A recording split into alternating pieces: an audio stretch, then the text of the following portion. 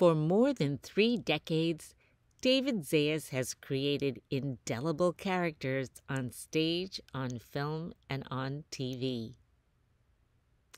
He is best known to television audiences for his role as Angel Batista on the Showtime Golden Globe nominated psychological drama Dexter.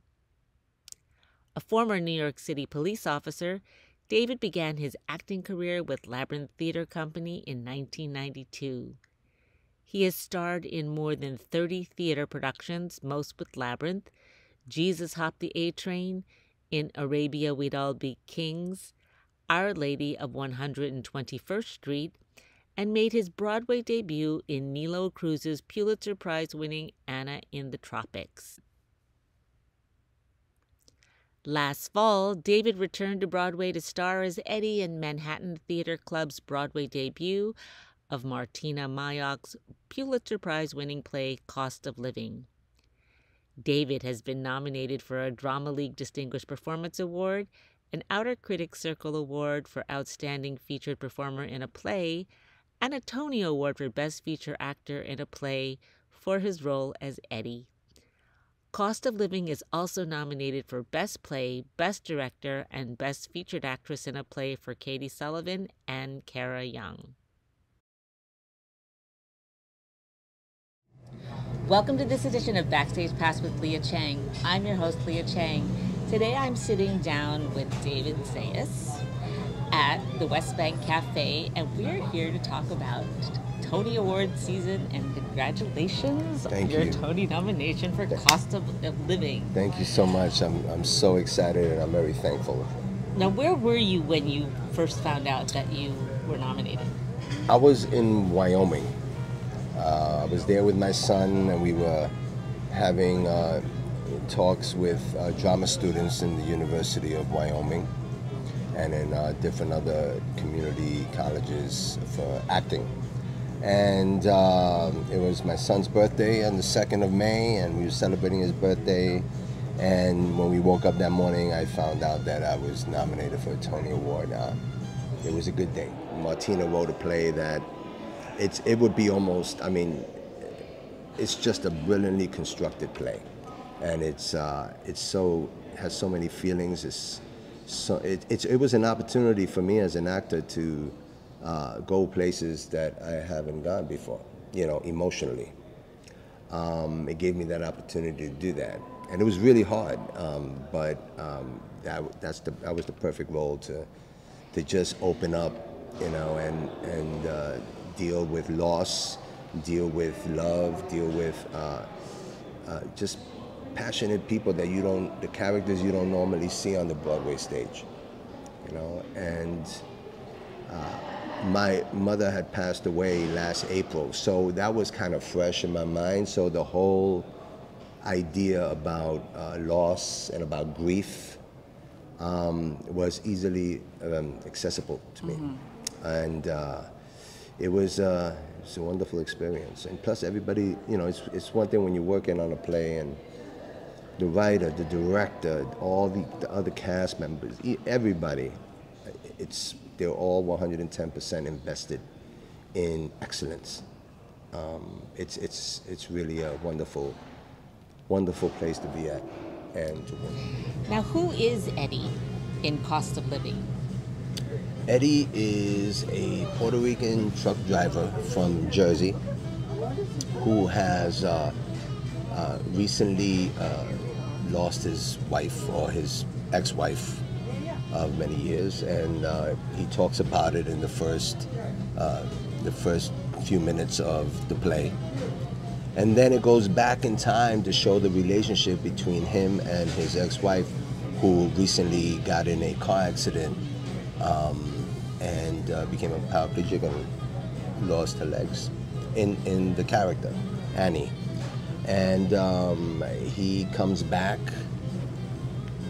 for whatever reason, whether it's guilt, whether it's sense of duty, whether it's just uh, a, a, an opportunity for redemption uh, to try and caretake for his ex-wife, and a lot of a lot of clash happens in between there, and then in correspondence is another scene, another scene where there's a young man a graduate student um, who has uh, cerebral palsy, and he hires a young woman to caretake for him. And so it's two stories where at the end they, you know, somehow intertwine and tells this beautiful story of. And what spoke to you about? Uh, the opportunity for the opportunity for redemption and the opportunity to fix certain things that you kind of ruined mm. in your life. It's always attractive to me because I've always I've made a lot of mistakes. I've you know and but if I ever had an opportunity to kind of make up to me. Mm-hmm. And Eddie has an opportunity to at least try to help the person that he loved, even though the marriage didn't work out. So, what do you want to do for your birthday? The weather's supposed to be nice next month. It'll be November in New Jersey. and you can't tell weather that far in advance. We can plan on it being nice, and if it's not, then we'll roll with it. We what would you want to do? You won't be here. Why not? You got your drive. What if I took off? And what if you paid your bills? Don't take off work. Listen, woman, I'm going to do what I'm going to do. Don't promise me things, Eddie. What would you want to do? you wouldn't like it. It's not about me. Maine. I want to go to Maine for my birthday. It's cold up there, See? right? And it rains a lot. It's all like fancy boats and shit. You're lobsters. thinking of Seattle. Well, they got fancy boats there too, right? Maybe, never been. That's why I want to go. Okay, yeah, but Maine? That's like Canada. why you want to go to Maine?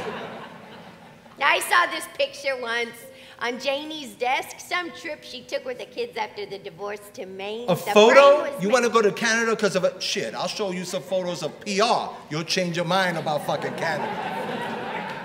The frame was made out of wood, but like real wood. It was just four little twigs tied together, but somehow it looked nicer than if someone tried to turn it into wood. And Janie's got a hat on because it's so sunny in Maine. So you can't see her eyes, but you can see her mouth, which looked. It's her in a field, and she's holding a stick like a cane. It's just her by herself, and she's fine. And there's a lot of green. Is that is that where you were going that night? What they told me later when the ambulance found me, they said that's what I said. I wasn't, but but maybe I would have if I kept driving. Working with uh, Katy was uh, a great experience for me, because um, ultimately she's she's just a great actor, you know, and uh, the fact that you know she has a disability. Uh, no, I, I had to catch up with her you know, she she was she was on it. She was there 100% every single time, and uh, really impressive to me. And, and, I loved working with her, and it was uh, it was a lot of trust there. well, you both are nominated for Tonys. Yes. Um, but you also both were nominated for Drama League Award, uh, Distinguished Performance Awards, and at the luncheon, she referenced you my face is covered in bubbles like Santa Claus gone wrong. And before I could panic, because I can't move, um, he was like a goddamn ninja. And he was like, Phew, like, took the bubbles all the way off of my face. So if you indulge me, please, would you raise your glass to David Zayas for not only figuratively saving my life eight shows a week, but literally saving my face. David Zayas. I love you. Thank you. All Really special, but my favorite would be um, the best one I feel. The, uh, the one that I got the opportunity to really sink my teeth in would be Dexter. Uh, Angel Batista and Dexter, which, you know, I started reading him when I got the part, and I read the book, uh, Darkly Dreaming Dexter, I think it was called. And uh, I read my character, and then to, to see that transferred to the, you know, the script and and doing it, it was so many opportunities for me to explore different aspects of uh, this human being. Because how many seasons did you work on Dexter? Eight, and then I was in a couple episodes from the last one, the New Blood that came out. I've always wanted really to be an actor. So ever since I saw Raul Julia in Threepenny Opera when I was like 13, 14 years old. You know, my father worked for the city. He was a sanitation for the city, for the Department of Sanitation. Um, and uh, my grandfather worked for the city. My uncle worked in Con Edison. Uh, so uh, my upbringing was hardworking, blue collar men. And did you think that that would have been your path I before thought, you thought I thought that was you know that was that was only? well, it was the path that I recognized, and it was the path that I observed, and it was. Um, so that's what it, I was thinking about. So when I, when I was young and I wanted to be an actor, I kind of just shifted it in the back because I really didn't get support from my family to do this. It wasn't until I was like in the already a, a police officer. Um, So at this, how old were you when you became a police officer? I was 22. I was 22, and I about when I was 29 is when I decided, I think I'm gonna try this. After after seeing a performance of A Few Good Men on Broadway, I was like, I don't know, I don't know in what capacity, but I want to be involved in something that's gonna make people feel the way I feel right now watching this. Uh, and that was a spark where when I got out of the theater, I think I ran four blocks just for no reason at all. I just had to like let out that energy. And then the next day I started taking acting classes. You can just, you know, go with the flow and, or you can knock these doors down and kind of just intrude in what everybody thinks they want to watch or they want to see. I think that you have to kind of explode into the scene and say, this is a story about a Puerto Rican family, a Cuban family, an Asian American family. This is the story, and you're gonna want to hear. You're gonna want to know this story. I I never felt that I was I, I was disadvantaged. Now, granted, I'm Puerto Rican, but I'm I'm very white. Right. So um, I didn't have that issue that maybe African Americans had or Afro Latinos have, you know. Um, but I still never felt like I don't belong in the party. Um, Ernie Martin, who was my first acting teacher, who would not let me quit when I was like, this is too hard, this is really hard. I'm, you know, I'm gonna go and try and make detective in the police department. I don't know if I, but he wouldn't let me quit. He goes, this is what you're meant to do. This is what, you just keep, keep doing it. So he's the first one. Um, and then uh, Philip Seymour Hoffman, who uh, was also a friend of mine, and he also directed me in five of the most influential plays that helped me as an actor. And watching him and his work ethic and, and watching how he committed to everything really taught me how to how to work in the theater. You know, I was like, he never told you to do anything he wasn't really. In fact, there were some things he did that I don't know if I could do. I was like, okay, wow, this guy's amazing. And he was just an amazing artist and, and just an amazing guy. Everything had to do with the work. Um, so he's one. And another one is uh, Tom Fontana. Tom Fontana gave me my first, uh, he's a producer, writer, did Homicide, Life in the Street, St. Elsewhere, um, Oz. And he gave me my first opportunity on television to be on this show called The Beat. Um, he took a shot at me. I was, you know, really, I was just so lucky to get that opportunity. and then I went into I did Oz that he wrote. So he's he's one also that I admire. Then I have to go back and, and see and just my father and how hard he worked and how um, with like no education he had to quit school when he was young to take care of his mom and he worked he was in the sanitation he was a sanitation man he also had two other jobs so just watching him work so hard to because i had a really good upbringing I, I didn't I can't say I come from a broken family or I come from an abusive family. My family was loving. Yes, we had our issues, but every family We're has all their dysfunctional. issues. Yeah. but ultimately, my view on life uh, was it, it, with the lens of watching my parents. Mm. and watching his uh, his just ability to take care of his family. And my mother who uh, I recently lost the, the year before we started to play um, from her I got how to be kind and how to be giving to people. Because that's what she was. She was kind. She was giving you know and and it, it, it was just how can I help my family how can I help my friends that's I, I got that from her and so I admire her very much so unfortunately neither one of them are here uh, anymore but that They're stays angels on yeah your that shoulder stays and, exactly and, and are guarding you from above. and they got to see some of my uh, some of, some of my success. They were able to experience that with me. Um, so yeah.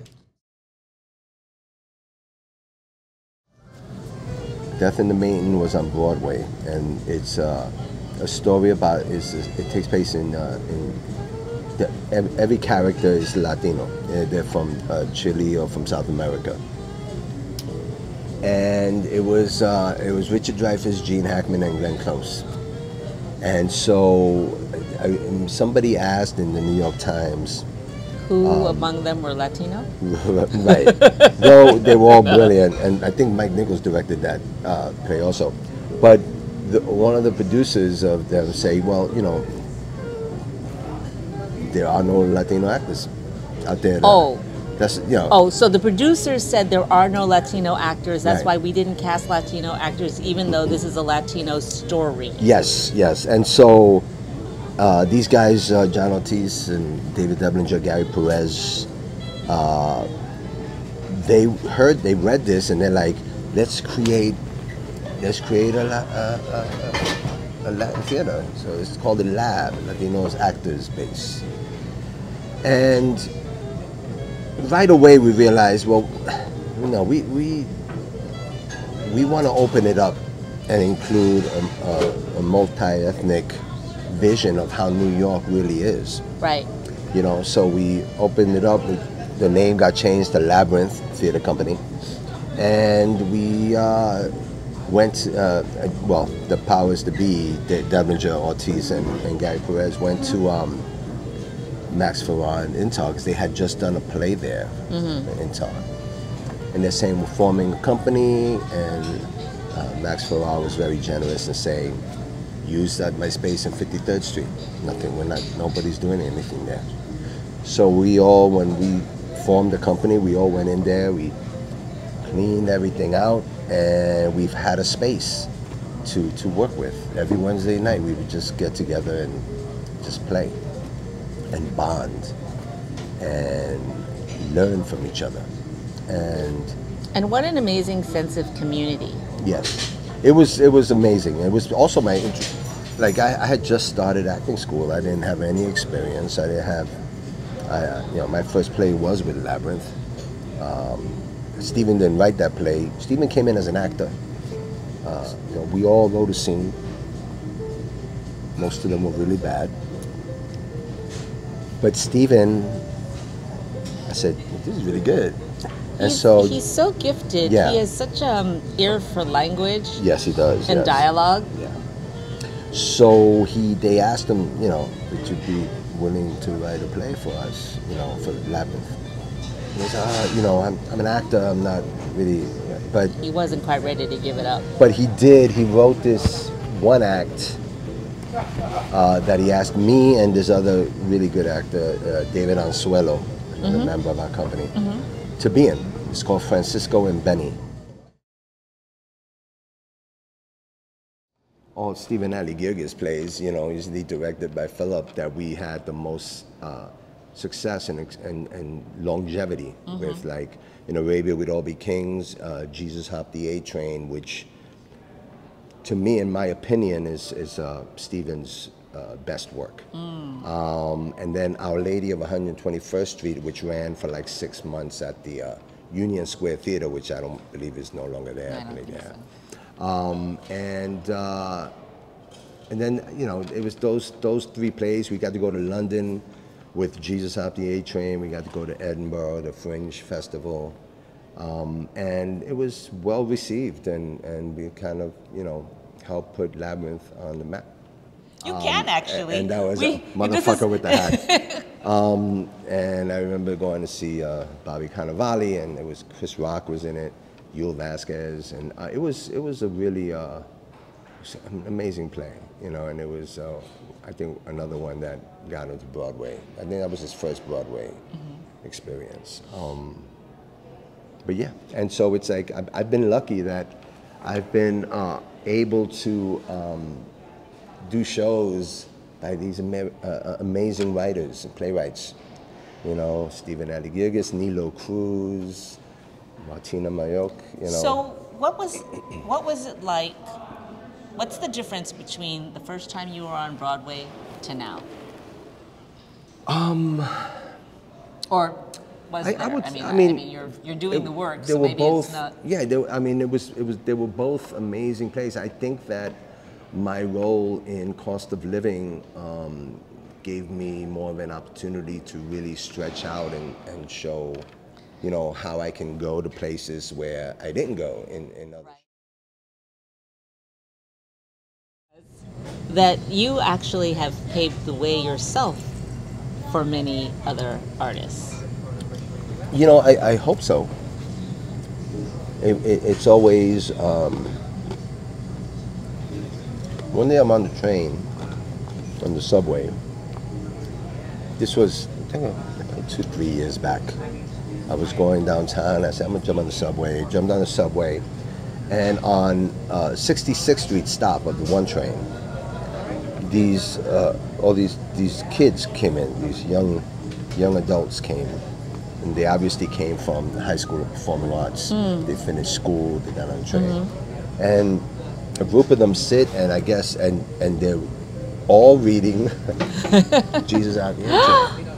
And you're in the and I'm in the you're in the yeah, cast I'm, list, I'm, right? I'm watching them, and uh, and I see all of them. They all have the book. They must be doing it in class. yeah. which I, I'm surprised that she's out the A train is going to be in her high school, but it was, and uh, you know, it was, uh, and I I didn't say anything, but I watched them, and they were talking about how exciting the play was. They were like, "Did you read this part?" And they were talking to each other, and I, I thought about it, and then they, they mentioned the character that I played, Valdez and they had such an intellectual take on that character because that's a brutal character. Right. a- you know, um, and I'm just listening. nihilistic. Yeah, I'm, character. yeah, and, and I'm I'm listening to it, and I just it, I'm like, wow, okay. Um, and they were talking about the names of the character of the actors. They knew this actor. They Wow. knew That means they had a really good teacher too. yeah, they had a really, they must have had a really good teacher. It's a good, great school. My niece graduated from uh, LaGuardia. And I realized, you know, they're studying parts that Stephen would like write and, and say, read this, and, you know, scene by scene by scene doing that play.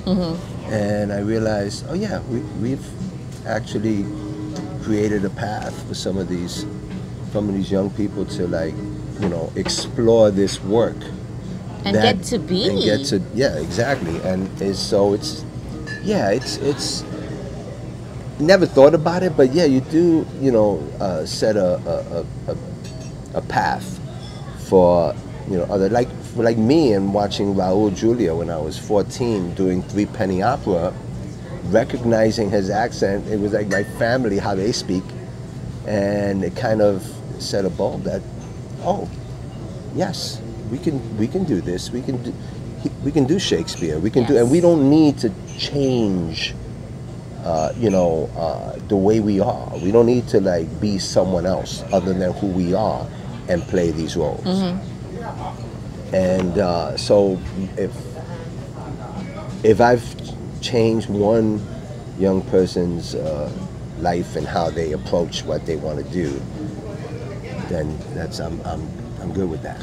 So, one of the other really exciting things about this Broadway season was the fact that not only were you in Cost of Living, but a number of other Labyrinth company members were in the Broadway production of Stephen Adly Guirgis's Between Riverside and Crazy. Yes. Not the least of which is your wife, Liza Colon. Yes, Zayas. yes. It's it's um, it's it was amazing. What I a mean, what a what a what a season to celebrate. Yeah. Yeah, and you know, and not only not only Liza, who, who's so wonderful in play, but I love know, Stephen Adly Liz, Guirgis. Liz Canavan has been in all his all of Stephen's plays also. Yes. I've done the, in fact the most plays I've ever done has been with Liz Canavan. Oh. Um, so many plays that I, she's a wonderful, uh, just a wonderful actor who just needs to get more recognition because she's just got so much to offer. She's just uh, a, a beautiful performer. Um, and Stephen McKinley Henderson, who is we call him the master, because Because he is. if you got anything to ask, Stephen McKinley Henderson will give you the tactful, just answers, the truth, in a very tactful way. He, he reminds me a lot of uh, Andre De Shields and how they how they communicate with others, particularly younger people. You know, um, he's just very inspiring. Um, and then you have uh, Liza who was in it, and then there's so many. And then Stephen Adly is having a, his second play on Broadway also, and and uh, Long overdue. long overdue. Yeah, you know. So, and hopefully there'll be uh, a few more coming up. You know, from both him and Martyna. You know, Right. she's got a, an amazing future. She's so talented, and she just knows how to tell a story. David Zayas, Cost of Living.